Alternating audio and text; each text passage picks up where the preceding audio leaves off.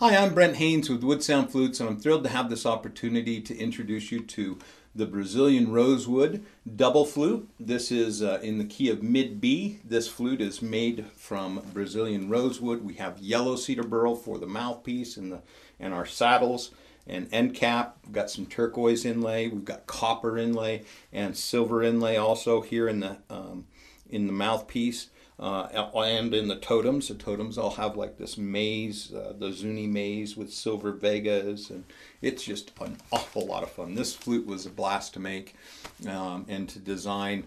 Uh, to create and come up with this uh, this design. Of course, we've got the Easy Clean mouthpiece on this flute, so the flute is designed to uh, to be really, really uh, playable and also one that is going to handle um, lots and lots of, of time in, in your hands and being played. And that's the purpose of this mouthpiece is to get blow this out, get it all dry and everything. If you're not familiar with the Wood Sounds double flute, let me just take a minute and explain it to you. Uh, Wood Sounds double flute literally is two flutes that are joined together with the ability to play through the mouthpiece, each flute together or separately.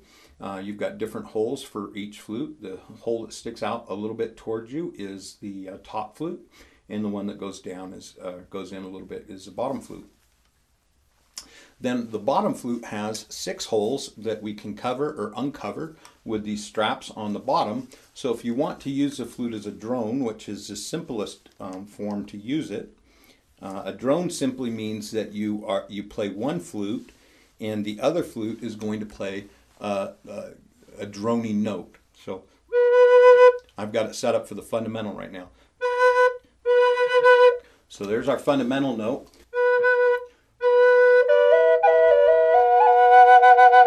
And you can see that's really fast. It's just, even as a drone, it's awesome.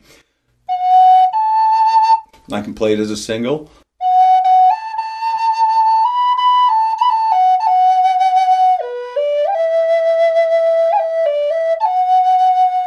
I can play it as a drone.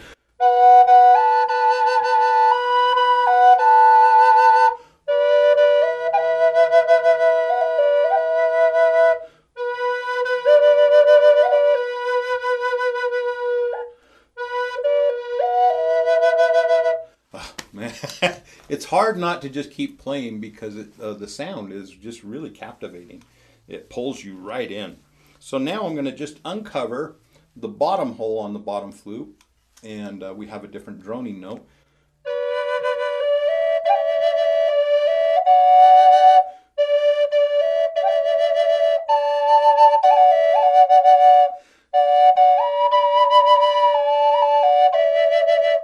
and you can see that it, uh, the different droning note creates a totally different vibe as we're playing.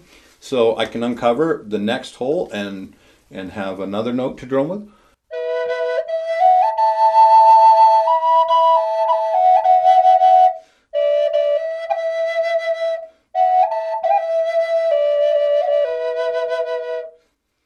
And uh, that has a different vibe. And then, of course, we can uncover the three holes on the bottom and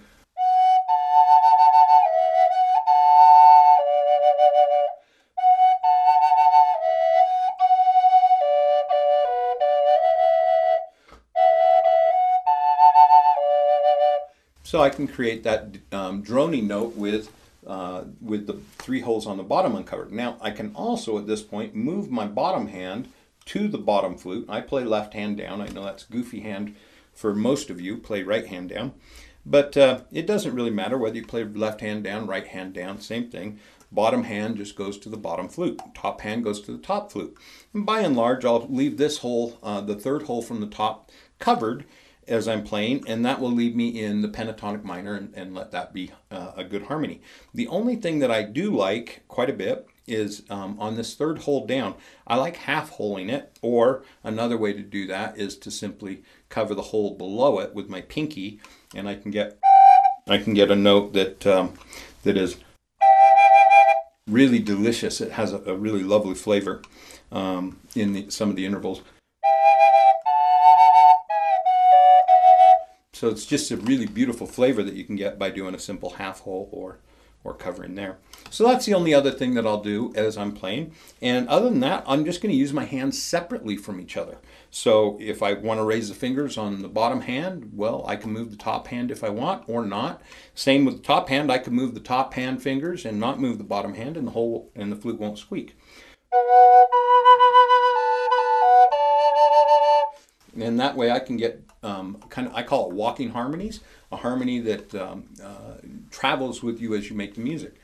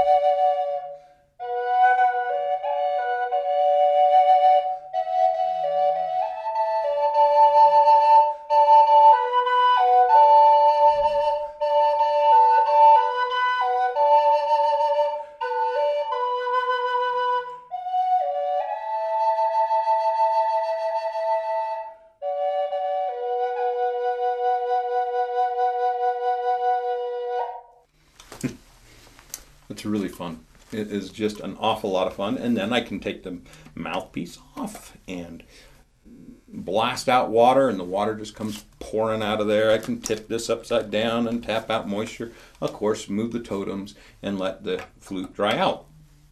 And that is our ideal way to care for the instrument is to get everything nice and dry. Well, I hope you enjoyed that. This is again the Wood Sounds double flute. This is uh, Brazilian rosewood with turquoise yellow cedar burl in the key of mid B. If you have any questions, give me a call 801 822 1415 or brent at woodsounds.com. Hope you have a wonderful day.